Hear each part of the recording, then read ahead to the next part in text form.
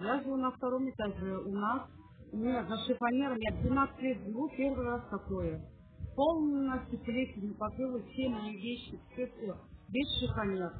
Кухня полностью плесенью покрыта. У меня трое маленьких детей дома. А двух детей не будет. Вот как быть?